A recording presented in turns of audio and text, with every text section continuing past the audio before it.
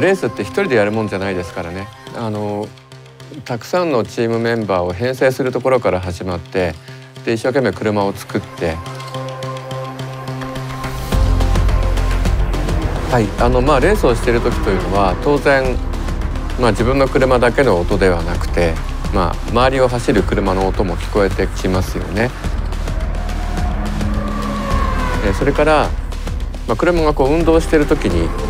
例えばアンダースタイヤが出てフロントタイヤが逃げていってるような時というのは、まあ、フロントタイヤがこういう運動をして、えー、振動を生み出すんですね。そうですね。グランツーリスモってやっぱり学ぶことがすごく多いゲームなんですね。車とは何か車のメカニズムとは何かドライビングとは何かいろんなことを、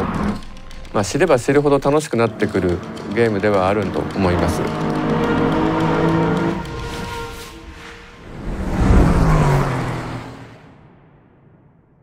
プレイステーション。